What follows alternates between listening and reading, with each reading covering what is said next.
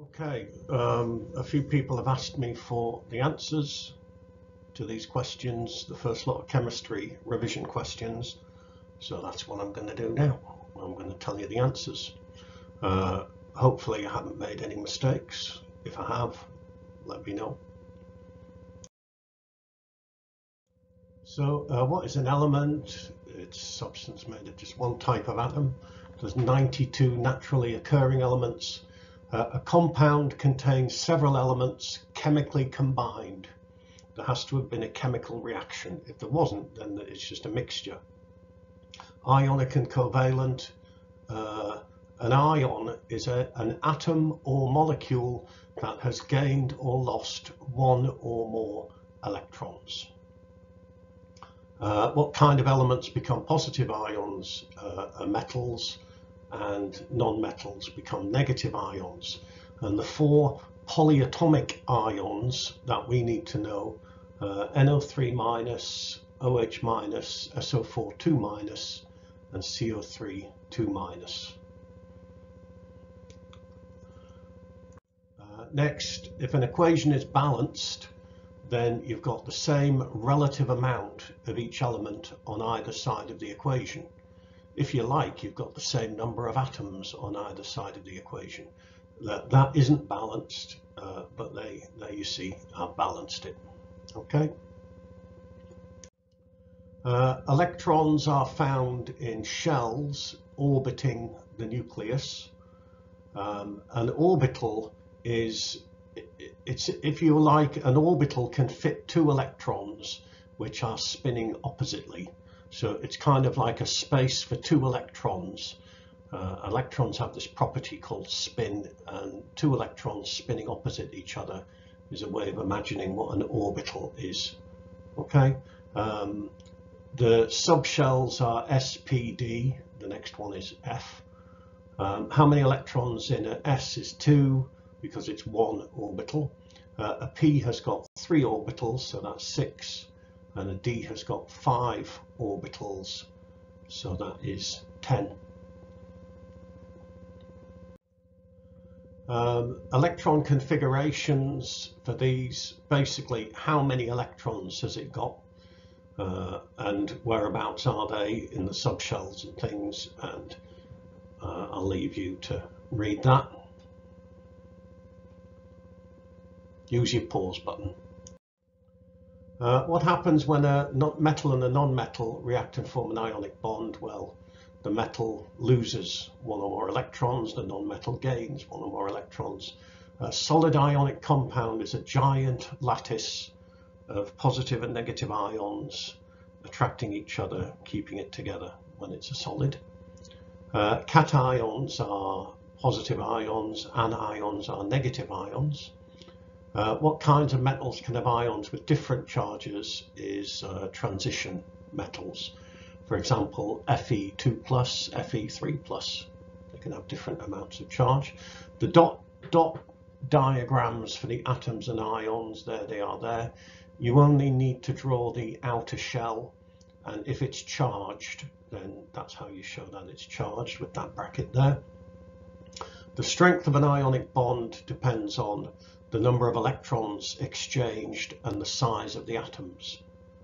Okay, um, if the ions have exchanged more electrons, then the bond is stronger. If the atoms are smaller, then the opposite charges are closer together, so the bond is stronger. A covalent bond is when they share electrons. Uh, you need to be able to do these dot cross diagrams, so that's a Cl2 molecule a tetrahedron is this 3D shape. It's like a triangle at the bottom with a, an apex at the top. And it, they're very important in organic chemistry, which is kind of the chemistry to do with living things. It's carbon, hydrogen, oxygen. Um, that's a double bond on the CO2 molecule. There are two double bonds. Uh, a dative bond, also called a coordinate bond, is where both of the electrons come from the same atom uh, and a good example of that is in that ammonium ion. There is a, a dative bond. The strength of a covalent bond depends on the length of the bond. The smaller it is, the stronger it is. because the opposite charges are closer together and the number of electrons being shared as in a double bond is stronger than a single bond and then a triple bond is stronger than that. Uh, metallic bonding, there's a diagram, you've got your delocalized electrons, you've got your metal ions in a regular structure, uh, held together by the attraction of the opposite charges. Uh, metals are good conductors of electricity because uh, a current, elect electrical current, is the flow of charge and the free electrons can move through the wire carrying charge. Uh, the good conductors of heat because again the free electrons can carry energy through the metal and as the atoms are close together in a regular structure, uh, energy can be transferred from atom to atom uh, very well. Um, metals are ductile, they can be drawn into wire. When that happens, layers of atoms slide over each other. And metals are quite strong because the attractive forces involved are quite strong. Uh, down a group, the melting point decreases because the atoms have more shells, so the opposite charges are further apart, so the atoms aren't held together as strongly. Uh, uh, group 2 have higher melting points than group 1 because there are more free electrons uh, and there are more protons in the nucleus, so basically the, the charges involved are bigger, so the attractive force is bigger, holding it together. Why do elements have different masses? Because they've got different numbers of protons and neutrons. Um, I mean, the electrons don't really count, their masses zilch. It's the protons and the neutrons which is important. The relative atomic mass is the mass compared to carbon 12. Yeah, relative means compared to, and it is the mass compared to carbon 12, which we say has a mass of 12.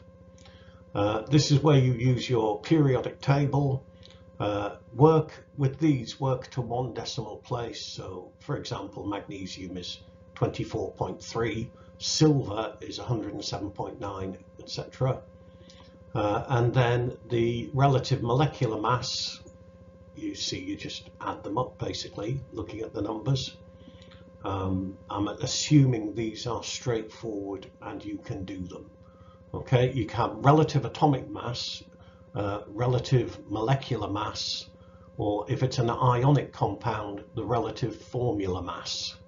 It's the relative mass. Um, what is a mole? Well, how many particles are there in a mole? It's this big number. It's called Avogadro's constant, 6.02 times 10 to the 23 particles. Okay, uh, what is it the number of? It's the number of atoms in 12 grams of carbon 12. Okay, uh, this triangle, uh, little m is the mass, big M is the relative mass, the molar mass, uh, and then little n is the number of moles. Uh, and the next few questions are just using that. I'm not going to work my way through them because it's just dividing numbers basically you should be able to do that be careful that the mass needs to be in grams in this particular case the mass needs to be in grams if you want the number of moles uh, here's an equation how many moles of HCl are needed to react with one mole of sodium hydroxide well it's one to one looking at the equation so one mole uh, what's the mass of a mole of HCl this is what we were doing on the last slide. Um, what's the relative molecular mass of the three compounds in the equation? Again, that's the same thing. How many moles of hydrogen peroxide would 50 grams contain? Uh, that's just using the triangle. So it'd be 50 divided by 34. Uh, what mass of oxygen would be produced? Uh, well, we know how many moles we're going to get, and so we can work out the mass if you know the mass of a mole. Uh, lithium reacts with water. How many moles of water are needed to react with one mole of lithium? Well, looking at the equation, there's there's two and a two, so it's one to one, so one mole. Uh, 20 grams of lithium react with water, so work out the number of moles of lithium. Uh, what mass of hydrogen is produced? Well, it'll be half as much because lithium to hydrogen is two to one, so it'll be half as many moles uh, and then you can work out the, the mass of hydrogen produced. Uh, concentration is measured in moles per decimeter cubed. Moles per decimeter cubed. Uh, one decimeter cubed is a litre or a hundred, a thousand millilitres or a thousand centimetres cubed. It's that volume. Uh, and so putting those in order, you know, 0.55 litres is 550 uh, millilitres, uh, 0.6 decimeters cubed is 600 milliliters, 700 milliliters, 750 milliliters, etc.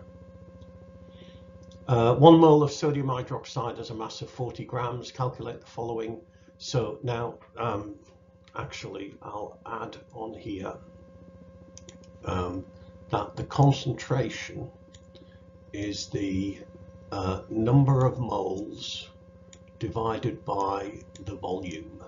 So there you go. There's a triangle you should learn really. Uh, the concentration in moles per decimeter cubed is the number of moles divided by the volume in decimeters cubed.